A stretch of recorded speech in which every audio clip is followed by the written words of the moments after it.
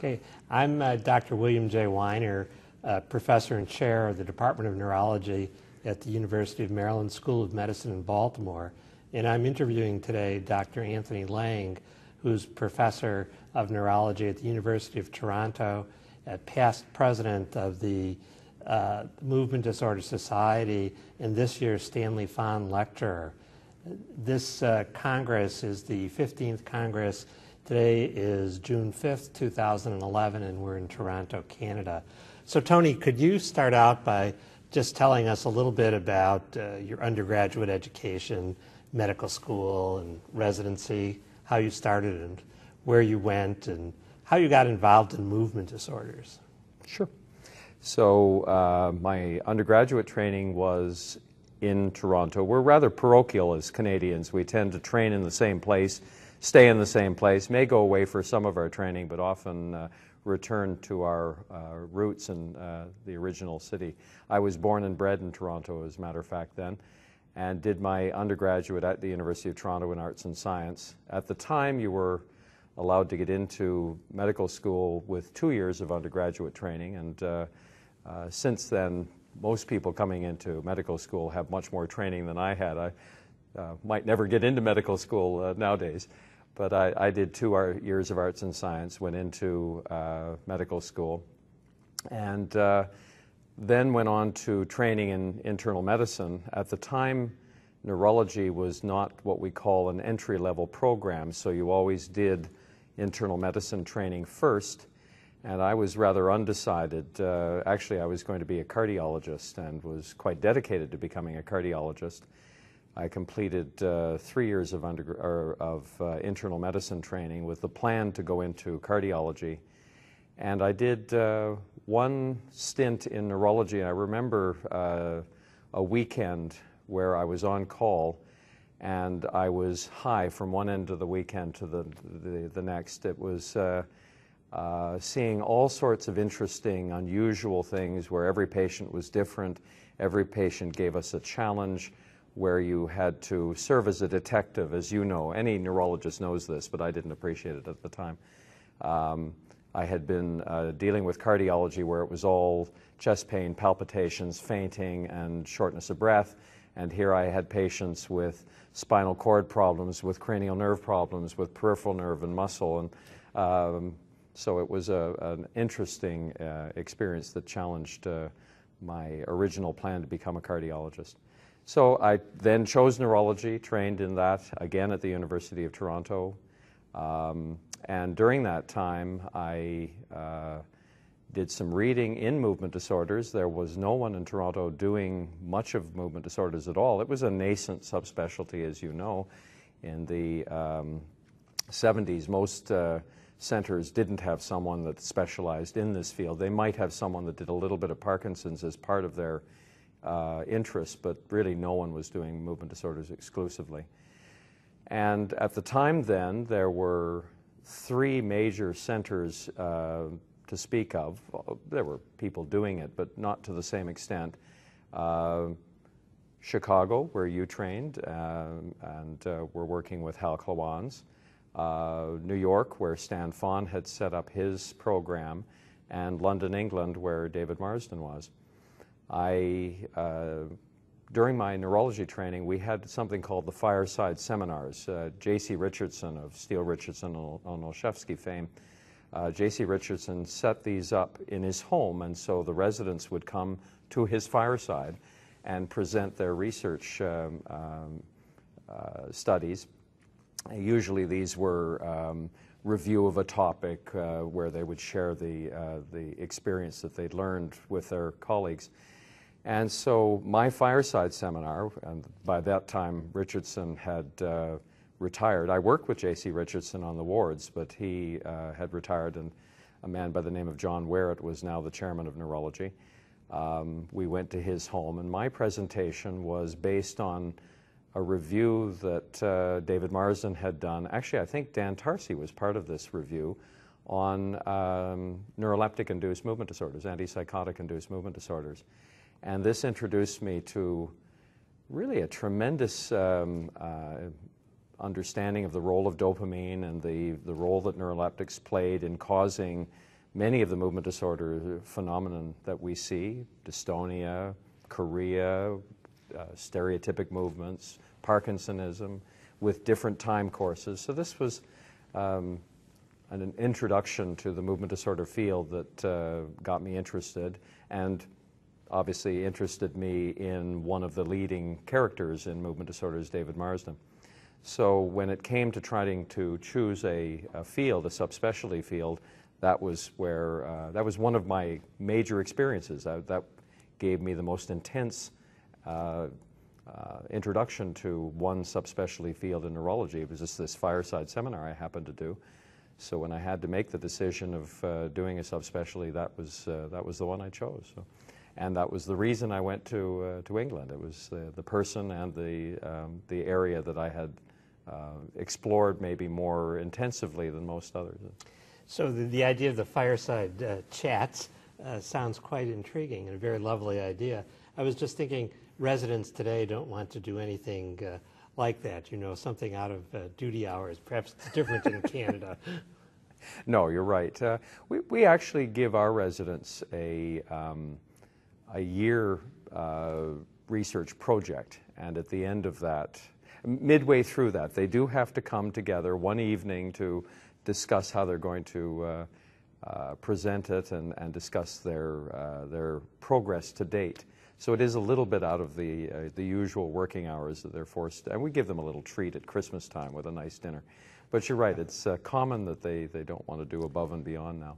So, so tell us, uh, how did you get the funding to go to England? And uh, that, was that your only choice to go to David Marsden's uh, place? Or what kind of funding did you have, and how yeah. was that arranged? Yeah, so um, the funding came from the um, the uh, Medical uh, Research Council at the time, which is now the um, Center, of, uh, what is it, the CHR, the Canadian Institutes of Health Research. So there were MRC fellowships for training abroad. And um, I could have gone to any of those, and I considered going to Stan Fahn and to uh, Klawans, but uh, really chose to go to England and didn't apply to others.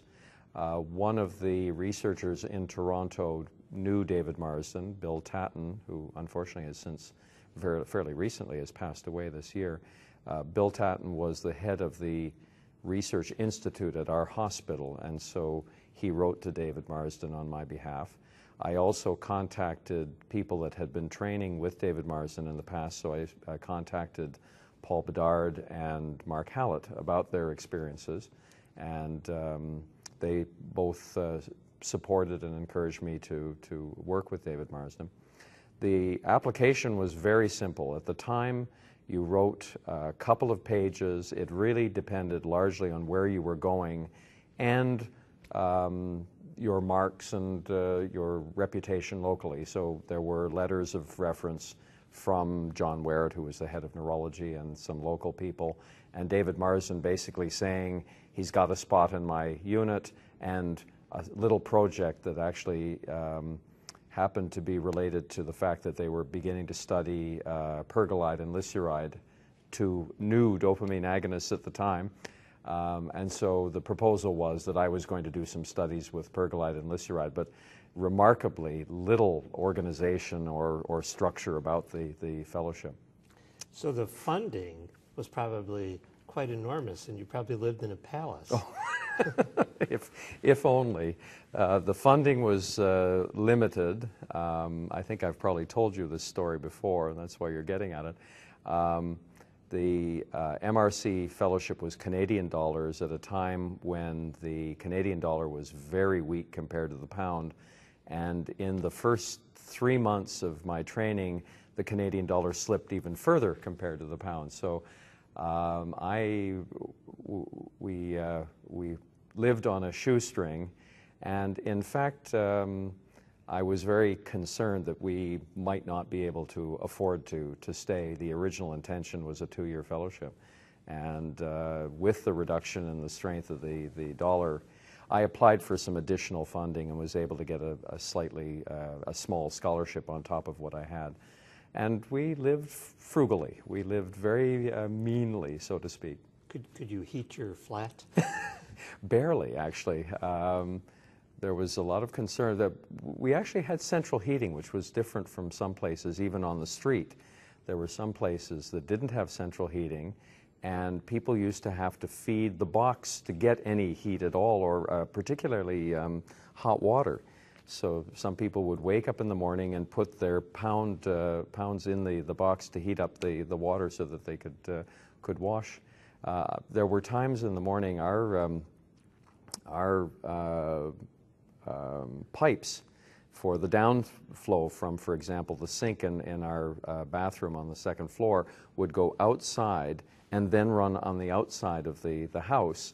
And it turned out that the angle was such that they would freeze. And I'd have to get up, boil water, and hang my head out the window and pour the boiling water on the downflow so that I could shave in the mornings. So, what, what was your, your first impression of David Marsden?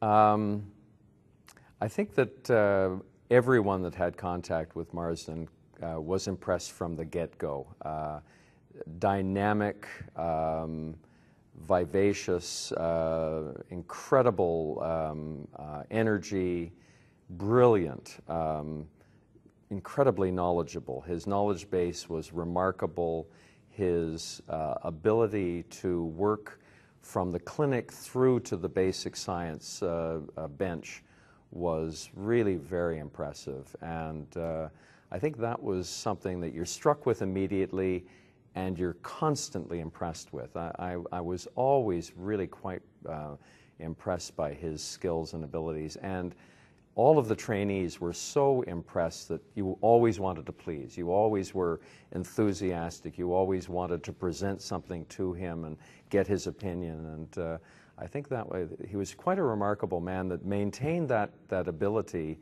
Uh, and I think everybody that came into contact him were, uh, was impressed with, with that, that remarkable skill. And the, his teaching skills were really quite, quite amazing. Um, He's the only neurologist that I've ever come across, and you might remember this because you did some time in London around the same time. And for the, the viewer, um, it might be interesting to know our first contact was while I was a, a, a fellow, and you were uh, there in a sabbatical role uh, for a short time.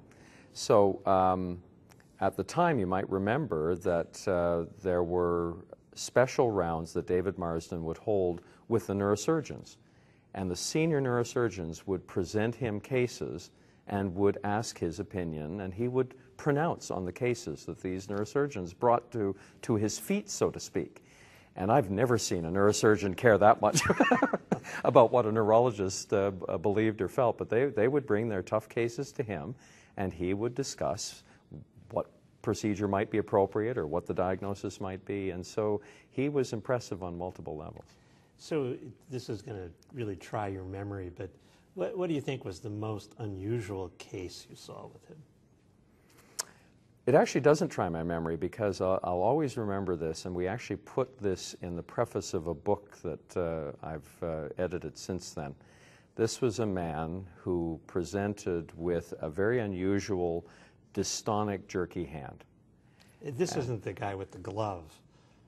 No, I don't Taking think. a glove on and off? No, no, okay. different, different case. Yeah. okay. Um, th- there were a lot of really very interesting cases, but this one was, uh, it, I think we all sort of see now, so it wasn't extremely unusual, but at the time had never been reported. We didn't know what it was, and it was very pertinent because at the time, uh, Jose Obeso, the current editor of uh, the, the journal, uh, was interested in patients with dystonia and myoclonus. And so, um, and I wasn't aware of this. I see the patient in our Friday clinic, and you would see the patient and then come into the main room where David Marsden uh, was holding court, so to speak, and you would present the case, and he would ask your, your opinion as to how you would classify and what you thought. And so I presented this man with this unusual dystonic jerky hand and uh, there were other clinical features. I believe there was a bit of an akinetic rigid syndrome as well. Nowadays, we'd have little difficulty saying that this was a patient with a corticobasal syndrome. At the time, that had never been described.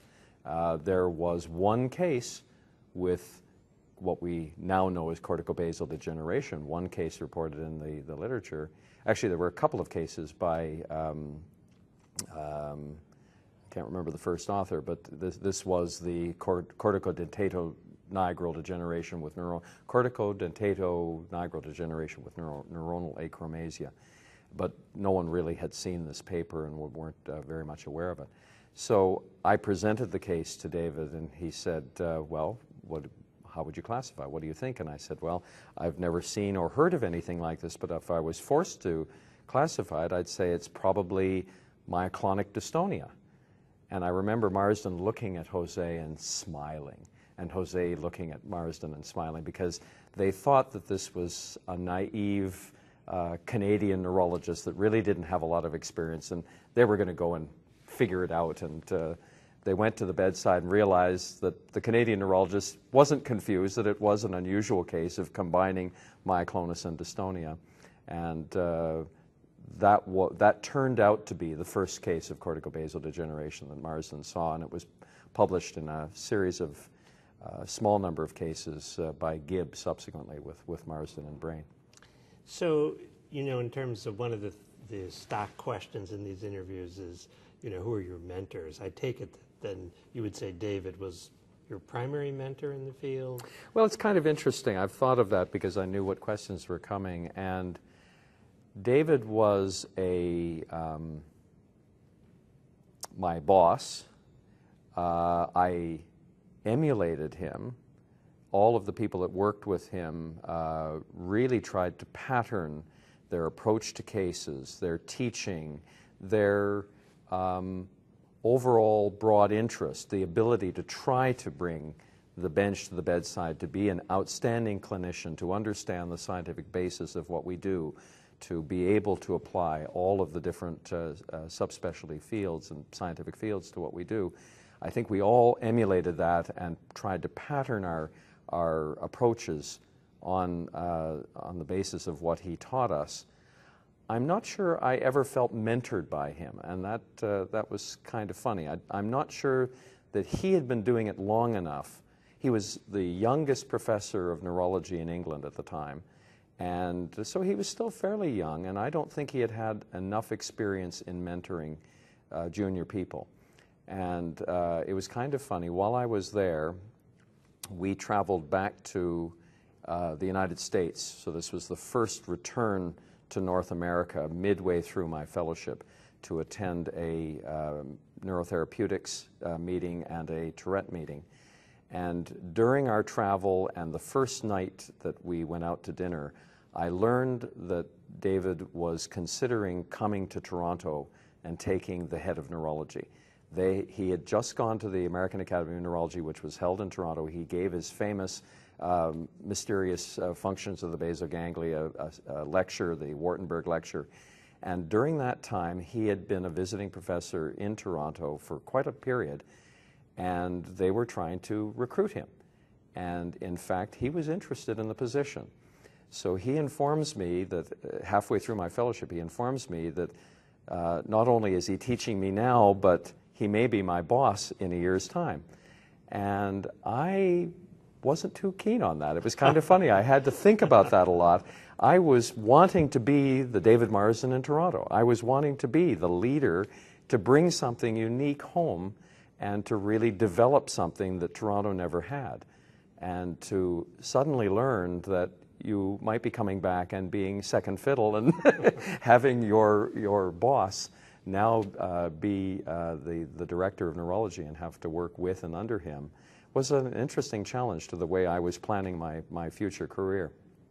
So um, I wasn't too sure what would happen after that. Obviously, it never happened and uh, never uh, came to be. So um, I don't think I would classify in the time that I was with him and uh, at least for the next little while, David as a mentor the way I think of mentorship now. But I'm not sure I was a great mentor in my early years as having uh, uh, fellows. I think now I concentrate quite a bit of my effort in true mentorship. I think the first real mentor I had was probably Stan Fahn. Um, Stan, when I returned to, to North America, Stan invited me to a couple of meetings. He showed that he was interested and tried to encourage my, my involvement in the meeting. I always remember there was a, a myoclonus meeting that was held at um, uh, a conference center that was owned by Columbia, and Stan invited me to that. And I didn't give a lecture. I sat in the top row of the, the seats in the small lecture theater, and Stan suddenly said, um, Dr. Tony Lang, what do you think of this? And that was the first time somebody really cared what, what I thought about anything. And so he was trying to encourage junior people in becoming involved in, in the field and knowing that the more senior people were particularly interested in what they thought and, and, and they cared about that. And then Stan invited me to be a member of the, um, uh, the editorial board of the Movement Disorders Journal, although David was a co-editor, and so I'm sure David had a role to play in deciding who the editorial board was going to be. So I think I, maybe I don't credit David enough with uh, behind the scenes uh, involvement of, of me in the in the field and in the society. Uh, it's the, the nascent society. So I think it was only years later that uh, uh, David was played a, a, more active role in mentoring me, but it was again behind the scenes. I don't think I saw uh, as much of what might have been happening as occurred. So do, do you think that that was sort of a not a personality difference between Stan and David, but more you know the English reserve and the North American yeah. more openness? it, it may have been. I always uh, tell a story that we may as well get on tape. Uh, I, I, was relatively brash as a, uh, a, trainee. I was a senior medical resident, as I was saying earlier, before I became a neurology resident. And in my seniority as a, a resident, I was working with people who allowed me to call them by their first names. So in my training in, as that senior level, I did infectious disease, and everyone was working on, their, on a first name basis. I then came into my neurology training, and my first day on the job, I was introduced to the head of neurology at the hospital I was working at, and I said, uh, Do you mind if I call you John? And he was taken back a little bit, and he said, Yeah, I guess that's okay. And then there was another senior neurologist, John Norris, working there at the time, who I know very well now, and delightful guy but um, he was a Brit. And uh, I once again, in my brash uh, way, I said, Do you mind if I call you John? And he said, Oh, I don't think so. Dr. Norris would be better. and so when I went to work with David Marsden, I did sort of the same thing. Um, I said, What should I call you? Because everybody was calling him Professor. Uh, Peter Jenner, for years and years, called him Professor long after I uh, started to call him by his first name. So I asked him what to call him, and he said, My friends call me David. And I said, Well, do you mind if I call you David? And he thought for a second and said, Yeah, that's, that's fine. So he, he wasn't too reserved. I think he was a little more progressive than the average Brit. But uh, so, so there's another famous story that you, ha- that you have to tell. All right, you have to remind me. Which is uh, did he give you some famous advice when you were completing your fellowship? You're going to have to remind me. I'm not sure that I got too much advice from David when I finished my fellowship, but was, was he predicting the trajectory of your career? Oh, this was um, yeah, this was not during the uh, on leaving. Um, this was that trip back to North America. So halfway through the fellowship, um, my first uh, international presentation, I actually had two lectures uh, to give, having never given an international lecture. And uh, David could be a real tough taskmaster uh, sometimes. And um, we went out to dinner, and um, there might have been a little more alcohol involved than we uh, wanted to admit. And uh, that evening, David really asked me what I was going to do with my career because I really hadn't been um, uh, that productive. I hadn't had too many novel thoughts to, to that point, so he wasn't quite sure that I was going to really be a creative scientist or a, a productive uh, um, member of uh, the academic field. So he was sort of questioning whether I was really going to be um, um, make it in the, you know, cut cut it in the cloth, maybe. I see, but You've outlived I've, it. I've managed to uh, get over that, uh, that criticism. I didn't sleep a wink that night. So that was a trip, remember, that I had just learned that my uh, boss might be coming to Toronto and I was going to have to either work under him or find another job, really. And then that I really hadn't been very creative in my first year and hadn't been very productive and hadn't had a novel thought.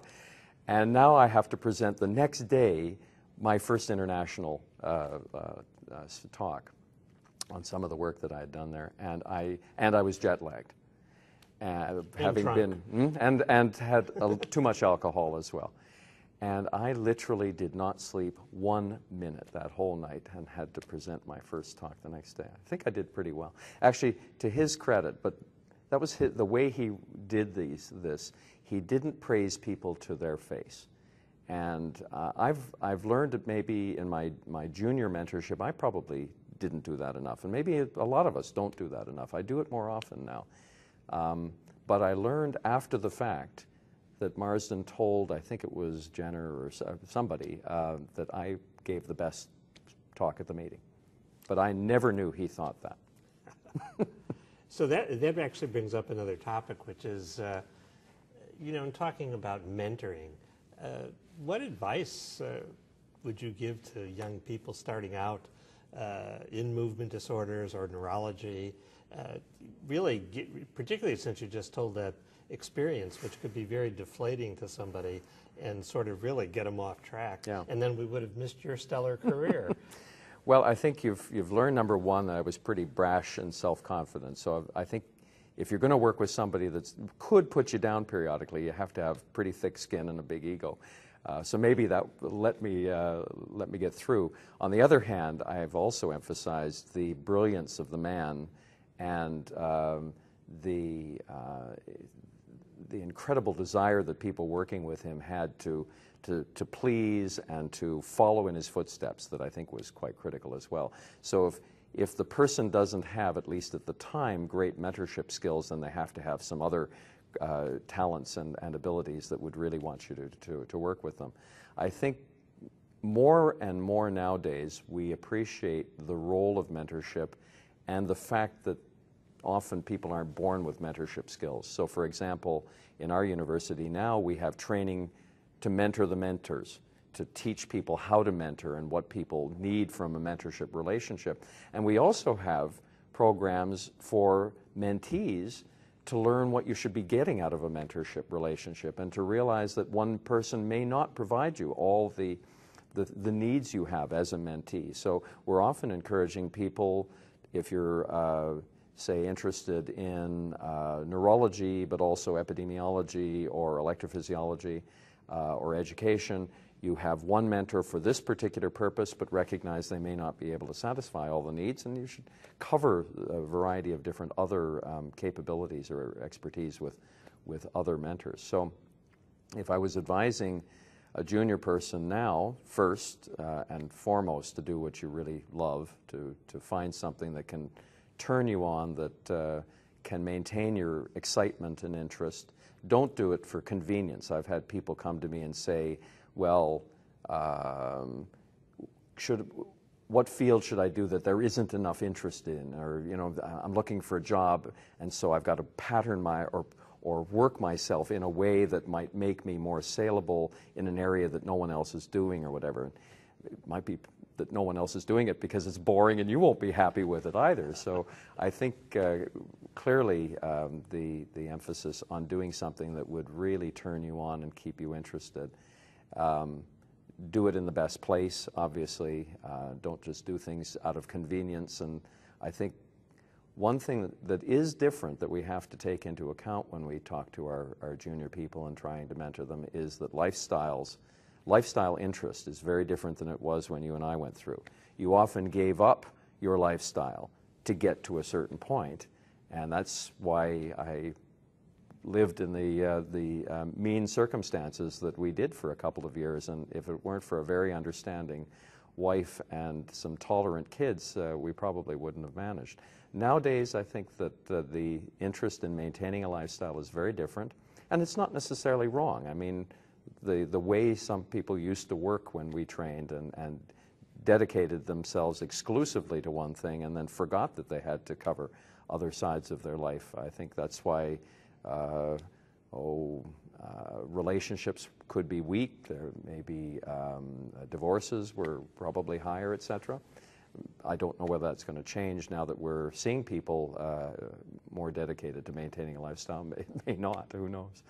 Um, so recommending that they, they follow a dream, uh, find good people to work with, um, don't do things out of convenience, I think, and recognize, as I was saying, that uh, a, a mentorship relationship also involves a contribution on the part of the mentee, that there has to be a bilateral arrangement, and that maybe the first mentorship relationship you get in is not necessarily uh, working or the best, and so you, you admit that. You, re, you try to establish a relationship where you can turn to the person and say, This isn't working out, I need something else, and find some other way of doing it.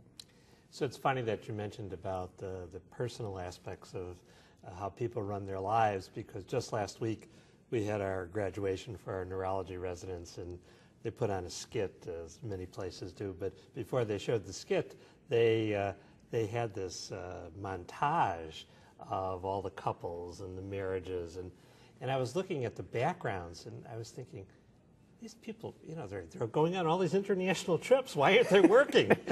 so uh, to go back to that again, because you, you certainly uh, uh, have had a very uh, productive career, which has involved a lot of travel and moving around. So would you, would you encourage someone to follow in that kind of a path? Do you think that that leads to any problems? Or, uh, I mean, you were sort of talking about that already. Yeah, But it's, it's really tough to know. Um, obviously, to uh, reach the kind of level we're at, you need to give some things up. And uh, there has to be an understanding and an open relationship, say, with a significant other if you're married, that, that understands that, and the individual has to be um, understanding and uh, respectful of the needs of the significant other. And um, I don't know that there any, there's any easy way of doing that. We, we've got a number of residents now, for example, whose spouse has a very strong career and they're not able to go to another place to, to, uh, to do a fellowship or whatever, and it's unreasonable to expect them to do that.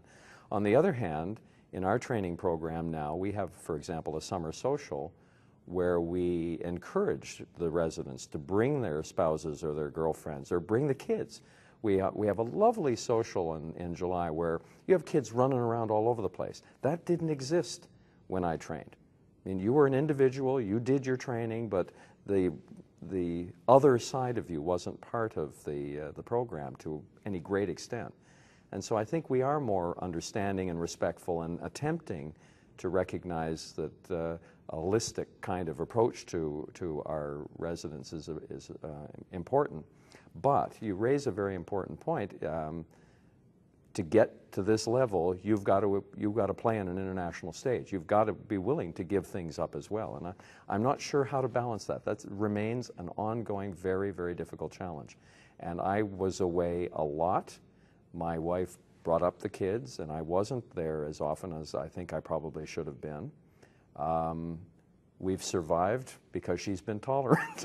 Some other couples may not have survived. I, I, don't know. I don't think there's a magic formula. I think it, you have to adapt.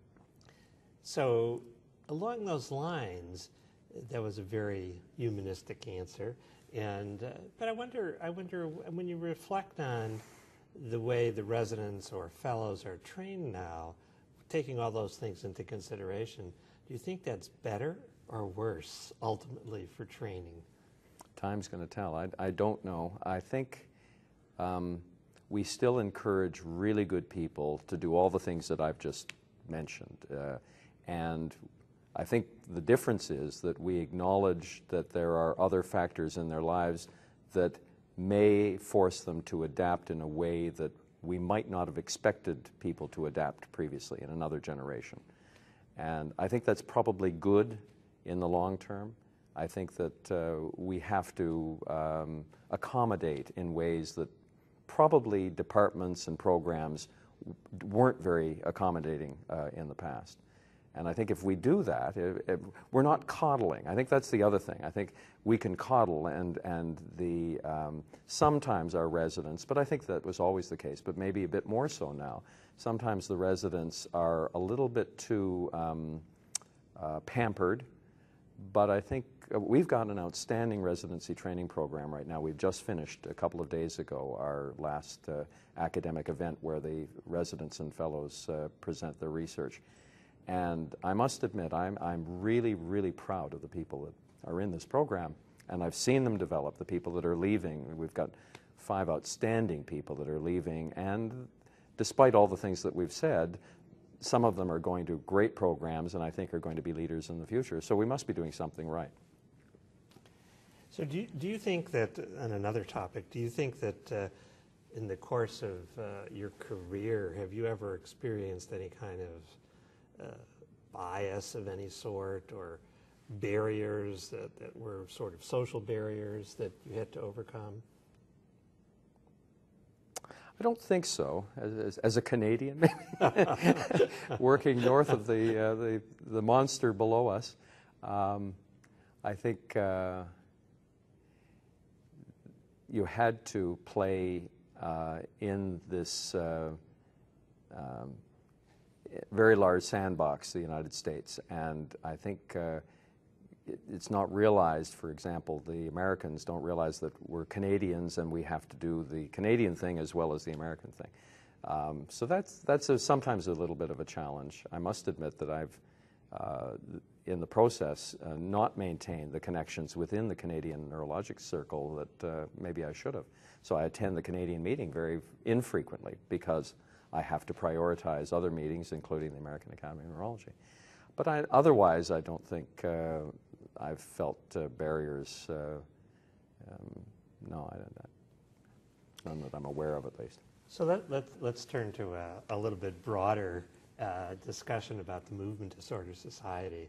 And uh, uh, what do you think? What do you think its role has been in the development of movement disorders as a specialty? I think it's been fairly instrumental in moving the field um, and de- helping develop it. I think that um, if we think back to how it began, uh, it was the two sort of fathers at the time, uh, Marsden and Fahn, uh, really seeing the need for a journal and recognizing that our field needed some uniformity in its approach to uh, very active clinical field. So it was largely uh, acknowledging the complexity of the phenomenology. And as you know, David and Stan were the leaders in the field of recognizing phenomenology. They began the unusual movement disorders sessions at the American Academy of Neurology. They ran these around the world where they, when they uh, traveled and, and lectured. And so the journal began with a recognition that this had to be uh, established worldwide, codified, recognized. It was the first videotape journal, as you know. And so um, I think if we look at the development of the society, it began really to run a journal for that purpose, to advance our field, to move it forward, to describe things in a more uniform fashion, to make sure people were talking the same language. And I think it, uh, it should be credited with uh, uh, beginning that and, uh, and firming it up. Um, it has gone way beyond that now, obviously, in its establishment of a Congress, which I think is the leading Congress in our field, the understanding of its role in education across the world, the establishment of the sections, beginning with the European section, then the um, Asian Oceanian section, and now the Pan American section, all with principal uh, mandates of um, developing education within their areas um, and uh, working on uh, training young, young uh, movement disorders neurologists as well. So I think the society has really been um, a major um, component in why our field is where it is now. I, I think, uh, given the people that have run it as well, and, and began it with David and Stan. Do you, do you think that uh, this is sort of a strange question in a way? Because I think everybody recognizes that David Marsden was a special individual and uh, but do you, th- do you think there's any uh, danger, maybe that's not the right word, of sort of making him into sort of a myth. And, uh, you know, like at this Congress, there's, you know, revisiting all these things, the David Marsden this and the David Marsden that. Do you think, do you think there's any danger in that?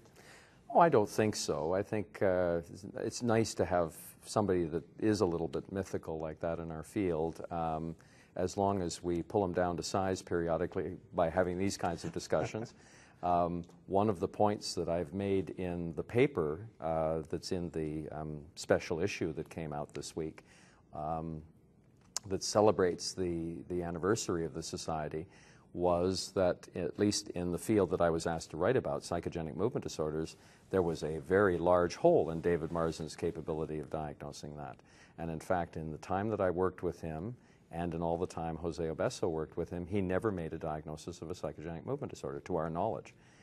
And this is somebody who's running a big movement disorders program, and anybody like you and I know the proportion of patients that we see that have psychogenic movement disorders now. And I don't think it was any different then. I just think that he believed that um, he had seen, to, uh, as a bit of a, an apology, he had seen a number of people with dystonia who had been misdiagnosed as psychogenic and had suffered tremendously because of that misdiagnosis.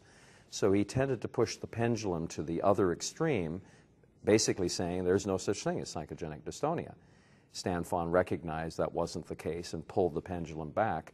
But again, in that time, David never diagnosed a psychogenic movement disorder, and he created some conditions that we're now beginning to recognize are probably largely psychogenic. And propriospinal myoclonus is probably the best example of that. A disorder that almost certainly um, the majority of patients don't have an organic movement disorder. He created the causalgia dystonia, and there's admittedly a great deal of uh, controversy about this, but many of us believe that the majority of patients with complex regional pain syndrome or re, uh, reflex sympathetic dystrophy and dystonia have predominantly a non organic disorder. So I think if we keep in mind the errors that he made, uh, maybe understanding why he did that, and there was justification for the way he pushed the pendulum in that direction. I think we can demystify him, but also recognize the incredible strengths he had. And uh, really, I think one of the reasons for the, some of the topics at this meeting is that it, we're at an anniversary not only of our society, but also of that Wartenberg lecture that I mentioned um, uh, many years ago, the year that um, I almost learned David Marsden was coming to Toronto. and uh, so we thought we'd celebrate that by uh, reviewing where we stand with the mysterious function that he talked about. So now I want to talk a little bit more about your career and tell us about what, what you think uh, you're proudest of in terms of the various projects you've been involved in. Well, I think um, apart from the projects, I think probably what I'm proudest of is building the program that I have in Toronto now, um, recruiting the outstanding people. Uh, we have a group of uh, seven full-time movement disorders faculty at the Toronto Western Hospital. Each of them have a, an international renown. So Janis Miyasaki, Robert Chen, uh, Connie Marras, Susan Fox, uh, Antonio Strafella. Um, did I get everybody? I've got to think. I don't want to leave anybody out. you better get so in, in that process, we have uh, Janis running clinical trials and education and doing an outstanding job of developing the concept of palliative care in movement disorders that I think, to my knowledge, she, there was no one doing it when she started to realize this was important. Robert Chen, an international electrophysiologist that has really led the, the field in her understanding of many aspects of uh, brain function.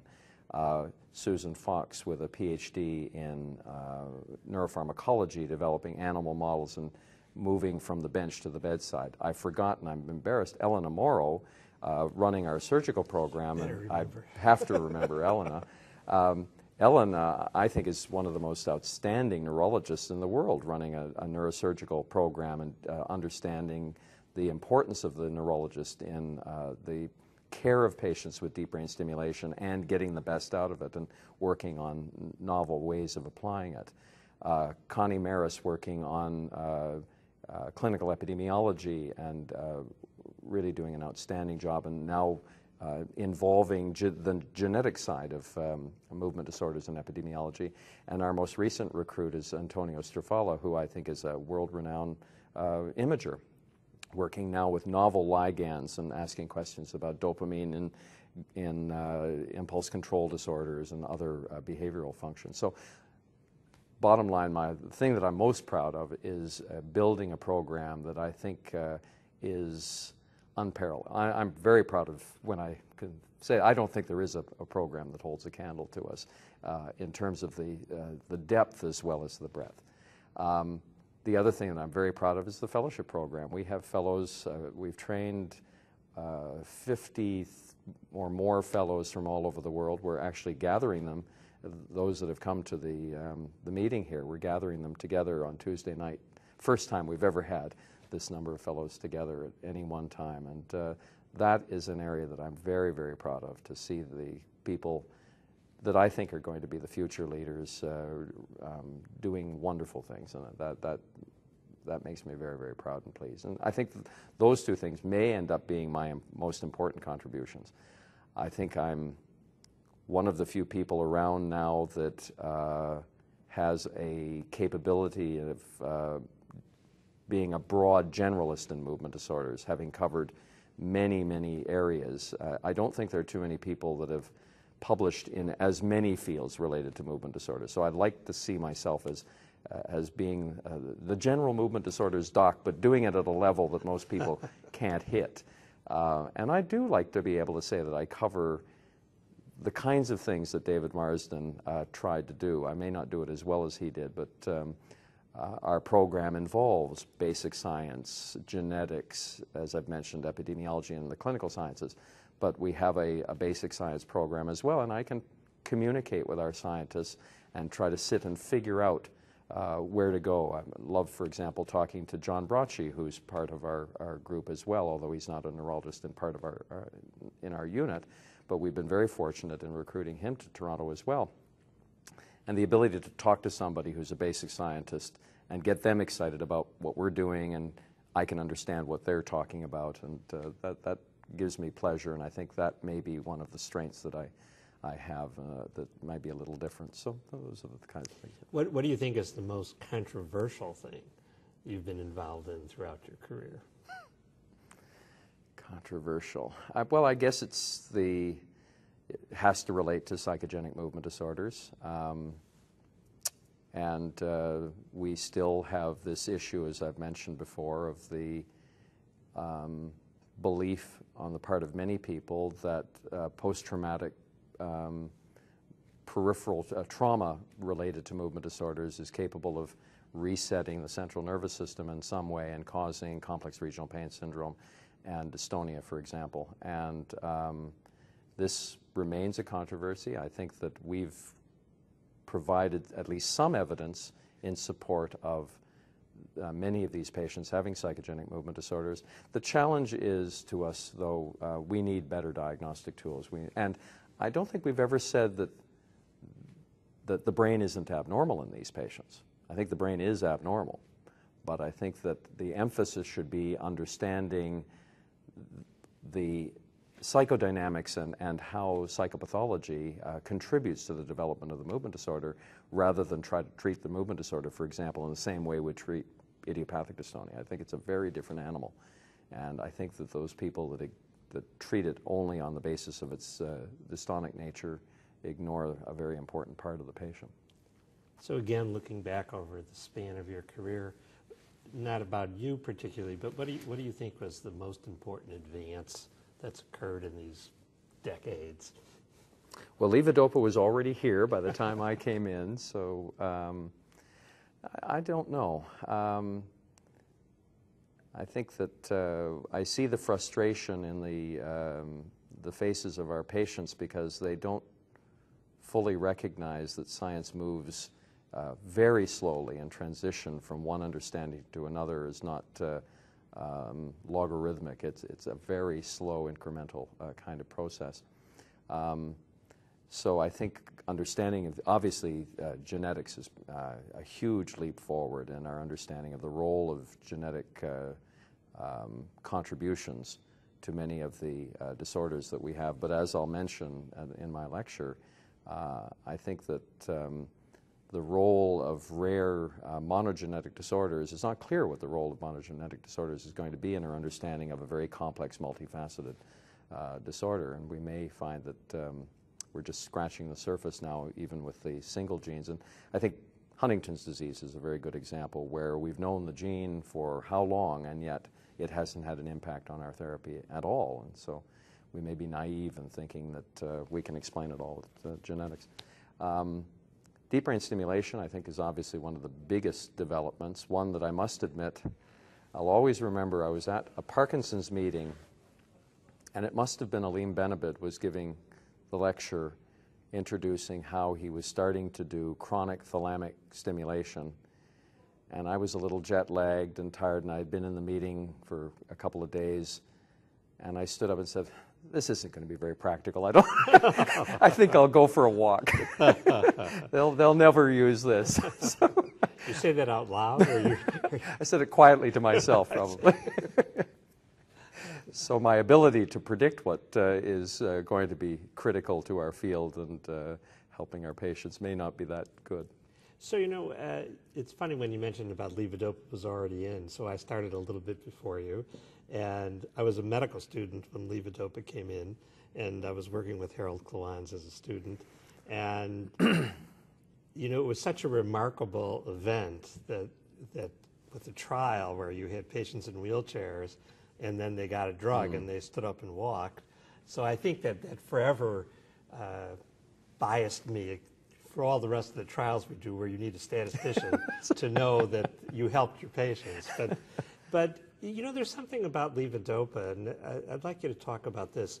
Do you think that this rather remarkable and in many ways fortuitous and by chance discovery uh, that levodopa was such a remarkable drug for Parkinson patients. Do you think, in some strange way, that that set our field back in the sense that, I mean, for example, you might say Alzheimer's folks, uh, you know, they don't, it would be tough for a movement disorder person to run an Alzheimer's clinic because there's not too much to do. Right. But on the other hand, the, the science involved with Alzheimer's might be further ahead than we are in Parkinson's. I've often thought that. I think you're right. Um, thank God for levodopa for our patients because the suffering of living without therapy for their horrible movement disorder, at least for the years that they get the best responses, um, would be really quite something. And I'm, I'm glad we've lived in the era we have when we've had this treatment. But if you stop and think about the efforts that have been made and the huge amount of money that has been spent, trying to deal with the side effects of levodopa, to try to capitalize on dopamine systems to a greater extent, all of the dopamine agonists, the dealing with management of motor fluctuations and dyskinesias and all the rest. If we didn't have the dopamine understanding and um, uh, we're just faced with trying to understand the biology of the disease and uh, get at biomarkers and, and get at ways of, of changing the process as opposed to treating one chemical outcome of the process, we might be quite a bit farther ahead. It's, it'd be very interesting to know. Certainly, we'd have a lot of money left over to be spending on investing in these questions now. So, again, I want to go back to something personal. So, I know you, you yourself, on occasion, as we, we all do as we get older, have been a patient and have had uh, different procedures. And I wonder, uh, has your experience as a patient, has that informed you in any way in how you take care of your own patients? I've been pretty lucky. I think that um, the care I've received and um, what I think is an excellent healthcare system, and I've, I think obviously when you and I are a patient, we get good care because you know who to call and how to twist the, the, the wheel and, and grease it and, and uh, speed up the system in a way maybe most patients don't. But um, I've been treated well, and I don't know that it's changed the way I've treated patients. One of the things that I pride myself in doing is treating patients in a very humanistic way, and I enjoy interacting with patients and their families. I um, recognize that if you see a new patient with Parkinson's disease, you've got a friend for life. Uh, and so you may as well get to know them and get along with them. And some people uh, do really become uh, good friends. And um, you really do appreciate the remarkable strength of the human spirit and the way they live with their disease and uh, suffer with their disease to a great extent. And as we all know, this is not a single person's disease, this is a family's disease. So you get to know the families and the spouses. And uh, uh, I think I've recognized that for quite a while. And um, so I don't know that being a patient has really changed the way I manage people. You know, uh, the uh, talking about getting to know families, I mean, I have the feeling, at least in the United States, that with all of the changes in financing of our healthcare system and of our National Institutes of Health funding, that really for academic departments or movement disorder centers, philanthropy is really something that I think is going to be the core of survival as we go forward. And you've been you've been rather successful with that in Toronto. Perhaps you could, for anyone who watches the video, you can give them their, your tips on how you've managed that. Well, I got very lucky with my first philanthropic uh, um, outreach or whatever. Um, it was really a patient that I was caring for who was almost embarrassed into um, giving money to our division because he was being criticized for uh, making quite a bit of money. It's a, a, long story that I won't go through on the tape, but uh, it gave me the, the, funding that came through by this um, method gave me um, quite a bit of freedom in not having to rely always on funding that we got from grants.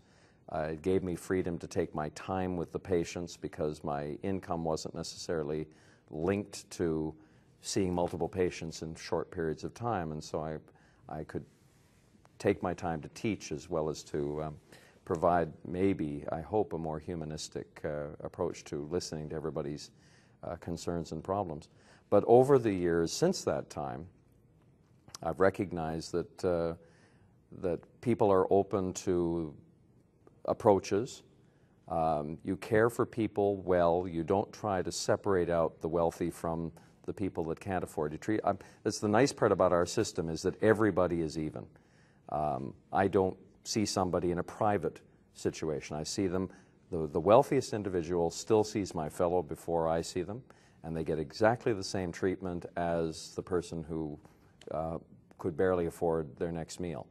And I think, in fact, that pays off because we give everybody good care, and um, the wealthy recognize that, uh, that they are being treated in a very equal fashion, and uh, they often have a better relationship with the fellows sometimes than they have with me.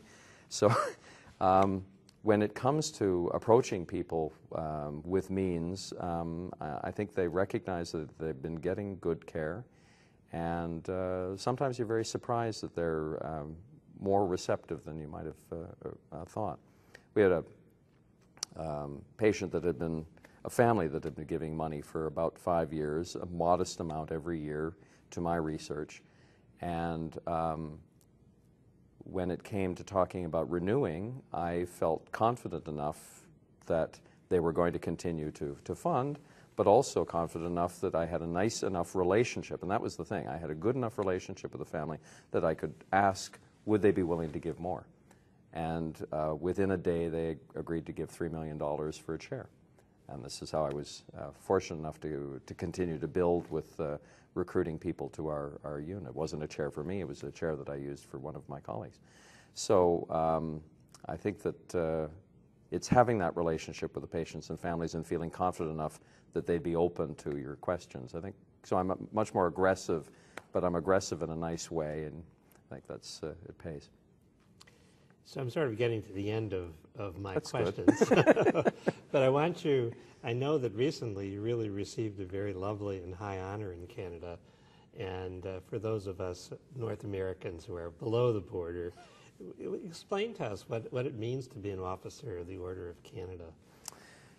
Well, the, um, the Order of Canada is set up to um, honor uh, citizens of Canada for their um, contributions to the country and um, you don't know that it's happening. Your name is proposed um, uh, quite confidentially.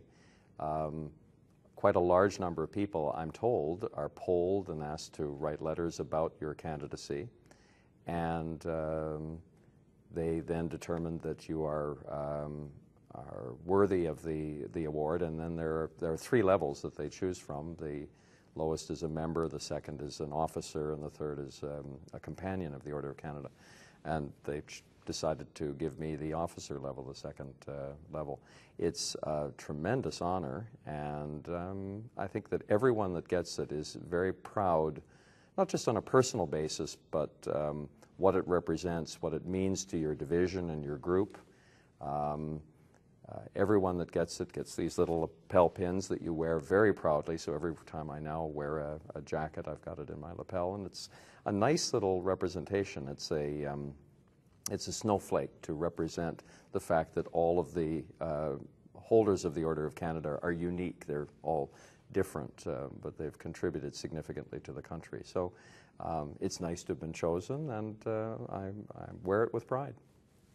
Okay, well, it's well deserved. Thank you. And uh, this is going to bring us to the end, unless there's something you want to say for posterity that we haven't covered. Nothing for posterity, I don't think. Um, I'm happy with what I've accomplished. Uh, I'm really delighted that I've accomplished it with the society, and so it's nice to be interviewed for this purpose with the, by the society because the society has been a tremendous um, aspect of my academic and, and uh, intellectual life, and uh, I'm very proud of the contributions I've made, and I'll continue to work for the society as well as I can. Okay, Sir? thank you. Very good.